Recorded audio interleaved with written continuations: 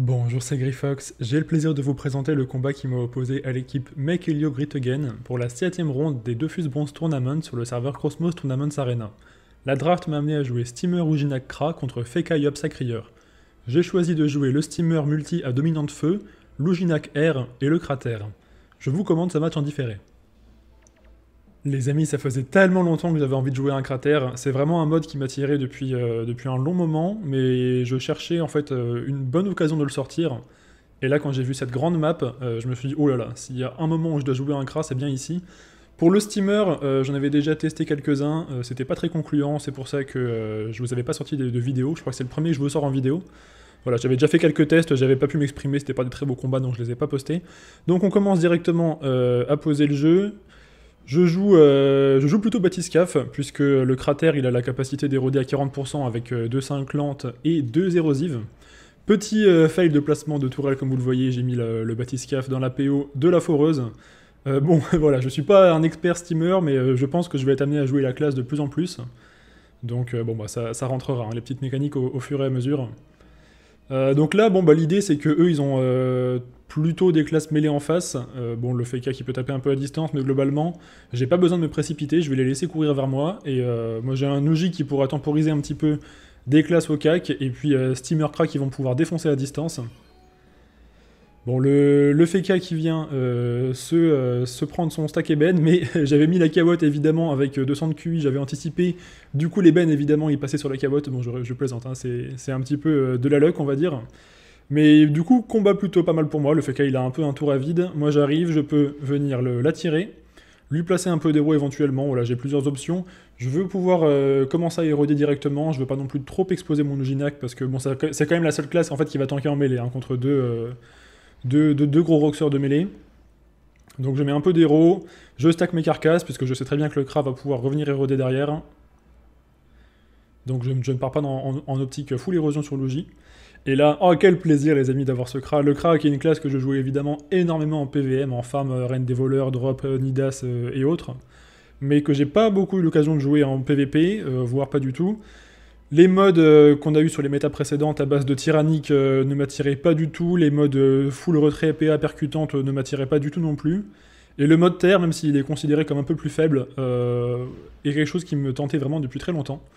Et j'ai un mode assez tanky, comme vous le voyez, euh, je suis à presque 40% de reste partout, je suis pas extrêmement offensif, mais euh, voilà, je vais pouvoir éroder, quand même mettre pas mal de pression avec les punitives, euh, donc c'est vraiment sympa.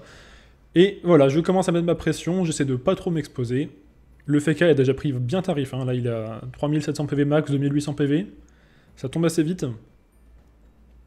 Là j'ai 3-0 d'heure quand même, le steamer, si je veux en plus en mettre une couche, mais du coup le, le steamer je préfère le jouer en batiscaf pour profiter du soin, du boost PA et des boucliers. Ça me paraît beaucoup plus pertinent. Le Saikri qui me rush. Euh, bon, je sais pas trop c'est quoi son mode là quand je le vois comme ça. Et euh, bah, on est fixé. C'est un petit mode terre qui a l'air assez offensif avec du crit. Puisqu'il a manifestement un turquoise. Donc il faudra faire gaffe. Là, ça peut quand même me burst.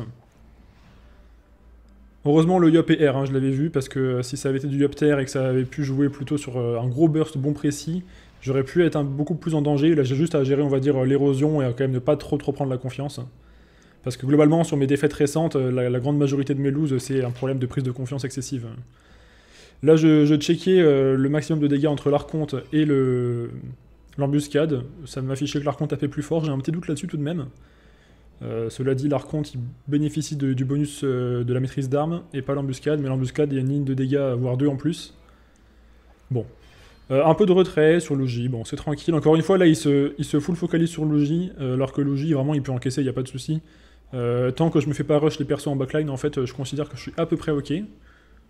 Après bon, souvent je me suis dit ça sur les combats précédents, et puis au bout d'un moment je perds Logi, je me rends compte que j'ai plus de PV max ni rien. Donc il faut quand même que je tempère un peu mon gameplay, mais bon là ça va. Le combat on va dire prend plutôt la forme que j'aurais espéré. Mes tourelles qui sont placées derrière, le crack qui a pu stack déjà sa punitive. Euh, l'érosion qui est placée sur mon focus. Alors évidemment, le gros problème que j'ai, donc là évidemment là je tape en full héros, hein. je, mets du moins 0 mais ça érode hein, évidemment euh, sur le FK, donc c'est le, le, plan. Le problème que j'ai c'est évidemment le sacrieur, euh, pour des gameplay érosion, le sacrieur c'est. C'est une classe particulière que je joue beaucoup, le Sacrieur, qui a la particularité d'être à la fois un counter et à la fois contré par l'érosion. C'est un counter à l'érosion parce que bah, s'il est érodé, il met des punitions, il vous enlève un perso. Mais d'un autre côté, euh, le fait de l'éroder lui enlève complètement l'avantage de son passif et permet de le tomber. Donc bon, c'est un peu à double tranchant. Et là, pour l'instant, je suis parti à fond sur le FK.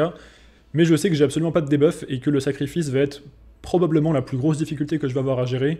Surtout si, euh, avec le mode très offensif qu'il a l'air d'avoir le Sacrieur, ils arrivent à mettre un perso en difficulté assez vite. Le, combat n'est pas du tout du tout plié, je sais pas trop euh, vers quoi ça va se, diriger. Le Yup qui vient chercher l'anneau destructeur pour euh, tuer mon invoque, bon c'est pas extrêmement impactant, il me remet dans le glyphe mais je pourrais en sortir sans trop de soucis. Là du coup je m'étais pas full boosté avec le cra parce que je voulais pouvoir caler ma double érosive et la punitive. Là, je peux mettre euh, mon cycle de full boost pour être euh, full boost au T3 et mettre euh, la grosse punitive. Et là, du coup, en prenant en compte ce que je vous expliquais juste avant, je choisis de full héros le sacri pour anticiper le, sacrifice en fait. Parce que je veux pas me retrouver avec un FK qui serait érodé à 1300 PV max et le sacrieur qui sacrifie et qui va mettre des grosses entailles et que je puisse passer aucun kill. Donc j'anticipe, je me dis, voilà, là je pars en double focus, sachant qu'avec la punitive au tour suivant, je pourrais mettre une grosse claque. Euh, je pourrais choisir euh, d'appuyer très fortement sur un des deux persos. Et là, bah, le Sacri, juste, déjà sur ce tour de, de Kra, il a pris bien cher. Hein. Le Kra, qui je trouve, est très très convaincant. Hein. Les, flèches érosives qui tapent très très fort, malgré mon mode assez tanky. Euh, en plaçant l'érosion à PO modifiable. C'est un up assez récent, hein, le, passage à PO modifiable de la flèche érosive. Avant, c'était 6 PO, il me semble. Et ça fait vraiment du bien. C'est un peu passé inaperçu, mais euh, c'est vraiment loin d'être anecdotique. Là, je profite du fait que j'ai mes tourelles Evo 3 pour euh, du coup placer le boost puissance de l'évolution sur le Kra. Et je me prépare vraiment du gros gros tour. J'envisage peut-être de placer un brise-lame parce que là j'ai vu le Sacrieur me sortir des gros coups de, et je sais que ça peut tomber très très vite derrière. Je viens donc chercher les secourismes. Euh, à nouveau, ça c'est pour le faire tanker. Le chalutier brise-lame avec en plus un placement qui va pas mal les embêter derrière. Et là, j'hésite un petit peu sur ce que je peux faire. J'aurais pu remettre un secourisme sur le, crabe. Bon, il avait encore celui du tour précédent. Voilà, c'est assez tranquille. Le Batiscaf, il continue à se faire taper par la foreuse, mais ça va. Ça va, ça devrait pas euh, poser de problème trop vite. La logique est quand même euh, déjà en train de se faire bien des ronds, hein, comme on le voit. Le, euh, le FK qui se barricade. Alors à la limite, ça, comme là on arrive sur le tour de la punitive, le baston aurait été plus impactant. Euh, la, barricade m'embête pas plus que ça. Avec le Ginac, je peux changer de focus, je peux me détacler. Il n'y a pas trop de problème. Je me fais taper au cac, c'est le chalutier qui prend. Bon, je prends le retrait évidemment. J'ai 8 PA, je suis dans le glyphe. Là, la question, c'est est-ce que je suis sur le sacrieur? Est-ce que je cherche plutôt à taper le FK à distance? Est-ce que je me transforme? Est-ce que je me transforme pas? Là, j'ai pas mal de décisions à prendre sur ce tour d'Uginac. Je choisis de pistage le Yop, qui malheureusement me tacle, puisque c'est un Yop R. De libérer pour euh, ça c'est surtout pour l'éloigner du cra parce que je veux pas me faire me prendre un gros tour euh, où il pourrait embêter le cra. Bon après il lui ferait pas grand chose objectivement euh, puisque même s'il me bloque avec une emprise pour que je puisse pas placer la pupu je joue en acuité absolue. Donc voilà même s'il m'embête et qu'il me met à 0 PM je pourrais placer normalement la punitive sans trop de soucis j'ai pas mal de PO je suis en bourse boulade hein, sur le cra donc j'ai 6 PO de base donc c'est pas mal du tout il, continue à m'éroder, il faut vraiment que je fasse gaffe, parce qu'encore une fois, le sacrieur, du coup, là, comme j'ai en plus euh, fait le choix d'éroder le sacri, euh, le sacri qui me berserk euh, double Isaël, punition en taille, ça peut faire très très très mal. Et là, le Yap qui se fail, puisqu'il se prend son stack Eben Distance pour me le placer, et il vient en cac, et en fait, du coup, il avait zappé le brise-lame, et il met tout son tour sur le chalutier, et l'Eben, du coup, n'est pas placé sur mon Oginac. Et euh, les, les, brise-lames, ça occasionne un bon paquet de fails. Hein. Je pense qu'il y a pas mal de dégâts qui partent sur des brise-lames. Et là, j'ai mon gros tour. J'y vais du coup à fond sur le FK. Je lui, remets l'héros max. J'ai les PA pour lui remettre full héros avant de, taper. La pupu qui passe sans crit, avec des dégâts très convaincants. Encore une fois, là c'est 650, mais c'est par-dessus les boucliers, les réductions et autres. L'empoisonner pour qu'il ait des dégâts euh, indirects de poison, j'anticipe déjà sur le sacrifice, pour que même si le sacrieur le sacrifice, ils se prennent les dégâts de l'empoisonné.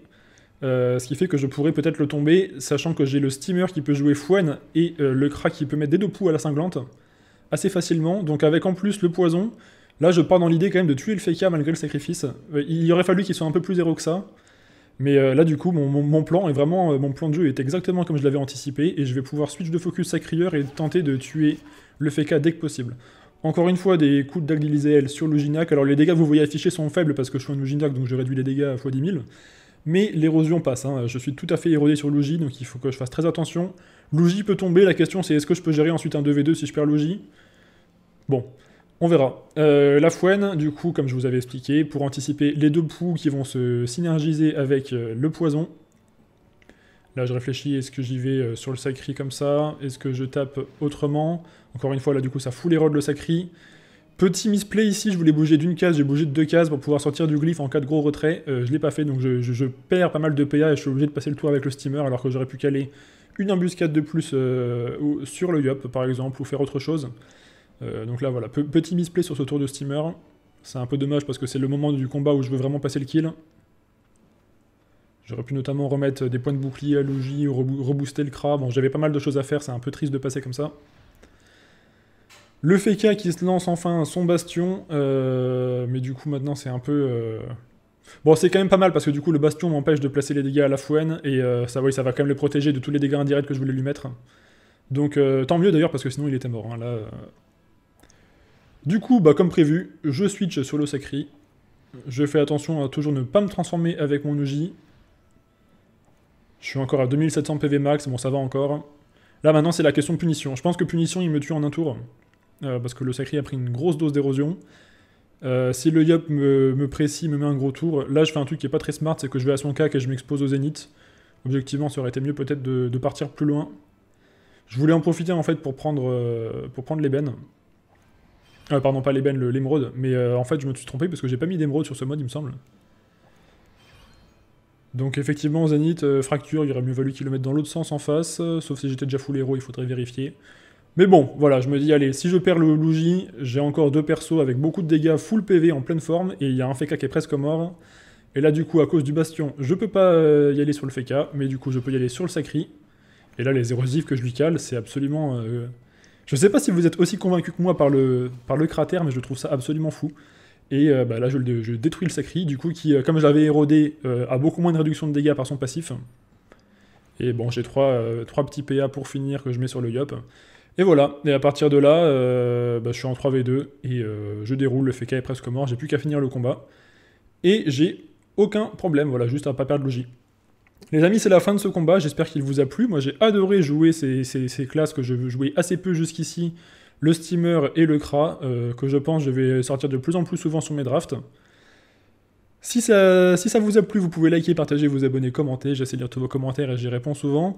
Sachez que vous pouvez suivre mes aventures sur Twitch et sur Twitter, vous avez tous les liens en description et que si vous voulez me soutenir, j'ai un Tipeee. Moi, je vous souhaite une bonne journée ou une bonne soirée. Prenez bien soin de vous et à bientôt.